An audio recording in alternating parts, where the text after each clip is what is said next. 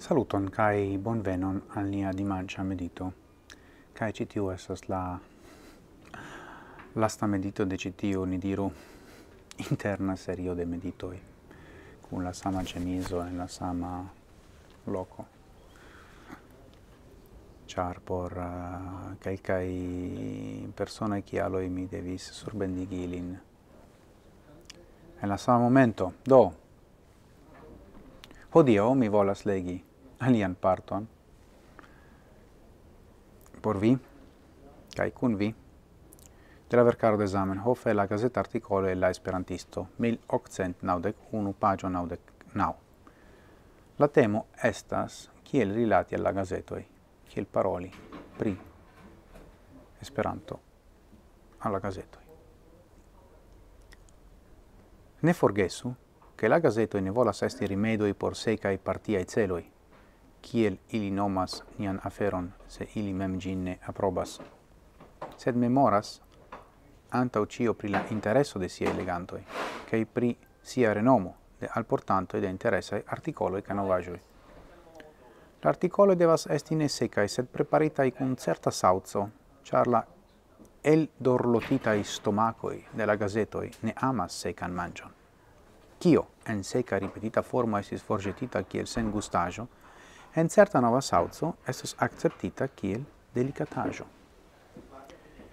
Tiel exemple articoloi en enhavi sciajon historiaen, factoen analizo analizoin ein au gaian humoron.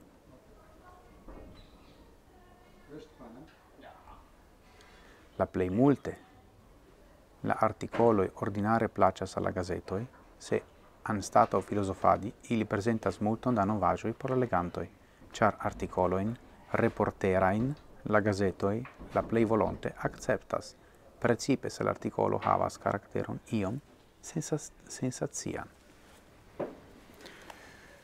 Do, necredeble actuala, ĉu ne?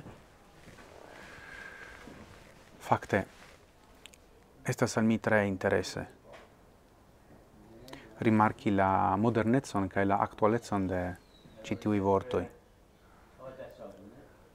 Quelquefoie en la verdaj gazetoj aperas eh, sensaŭcaj artikoloj, mi devas diri, estas iom enuaj. Ĉar ne claras la la celpublikon.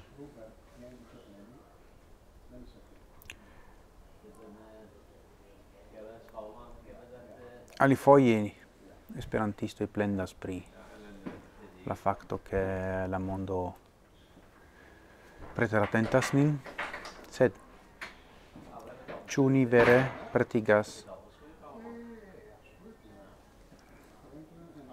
novaĵojn por la extera mondo en bona maniero? Ni povas nin demandi tion. cia ja, devas esti io nova. Kai rimarku che Zamenhof scribis en 1891 kai Esperanto estis nova tiam. Gi agis nur kvar. Sed nun Esperanto ne estas pli novaĵo. Do la surprizo estas ke Esperanto estas ankoraŭ vivanta, kompreneble. Por uh, la ĵurnalistoj kaj la kialoj poste interesaj. Ĉar la mondo ŝanĝiĝis, sed Esperanto ancora estas kun ni. Nu, mi pensas che ci tio esas tre interes anca o laula lingua vid punto ci tio esas unu el um, maloftai ocasoi ciam Zamenhof usas analogion fakte char uh, eh, pretigi gazeta articolon similas al uh, pretigi mangiagion, delicatagion, un sauzo, al cui radon. Che tio la mia estas tre interesa ankaŭ. Do, nun estas iom da bruo, ili comenzas labori pli forte, cae do mi salutas vin. Mi uh, esperas che vi passis bonan semenfinon, mi passos, char mi surbendigis antaŭe, cae ni vidos denove la venontan semajnon do gisla kai antauen sen fine.